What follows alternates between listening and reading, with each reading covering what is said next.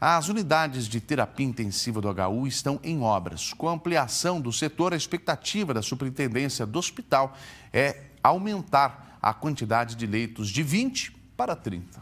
Desde a última segunda-feira, a reforma na unidade de terapia intensiva do HU não para. O espaço está sendo ampliado. Vai ganhar 620 metros quadrados e equipamentos de ponta. Então, nós vamos ganhar tanto um espaço de maior conforto para o paciente, quanto uma maior condição de atendimento tecnológico de maior nível. Nesta ala do Hospital Universitário funcionavam as UTIs 1, com 10 leitos, e a 2, que tinha 7. Todos os pacientes foram realocados.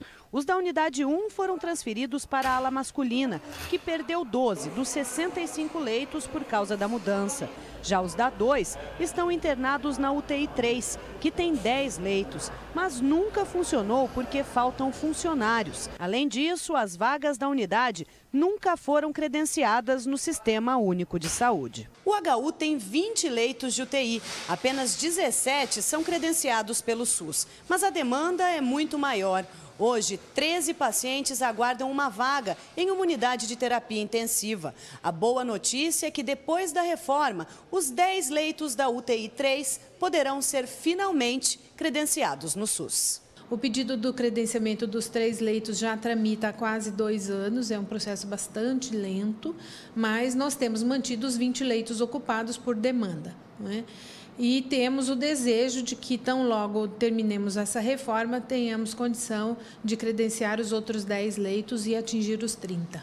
A reforma das UTIs vai custar 2 milhões 734 mil reais. E o recurso é do governo do estado. A previsão é que a nova ala seja entregue no mês de julho. Desde o ano passado, o hospital está fazendo melhorias nas instalações. A ala masculina foi reformada.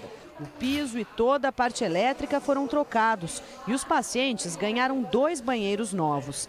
O pronto-socorro pediátrico e a maternidade também ganharam cara nova. E o próximo passo, segundo a superintendente do HU, é a reforma do pronto-socorro, que por enquanto é só um projeto. Os projetos complementares estão quase prontos. Eu acredito que nós tenhamos condição de apresentá-los à CESA em Curitiba até o começo de março.